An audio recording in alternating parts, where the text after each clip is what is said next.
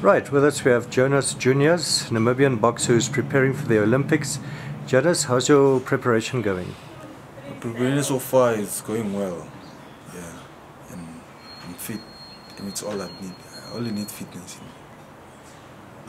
Right, um, it's, this is your first Olympics. Are you excited? How are you feeling about that? I was excited back then, but now I feel like I'm already in the game, so I'll just go down to business.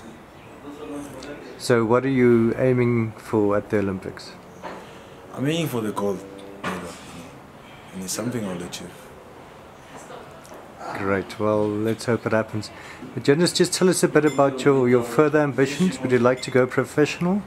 Yeah, as soon as I, come from the Olympic Games, we should just turn professional. And my biggest dream now is just to bring the WBC world title here.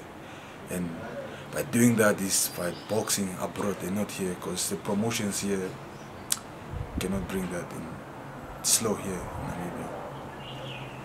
So we can still hear a lot about Jonas Junias in the future.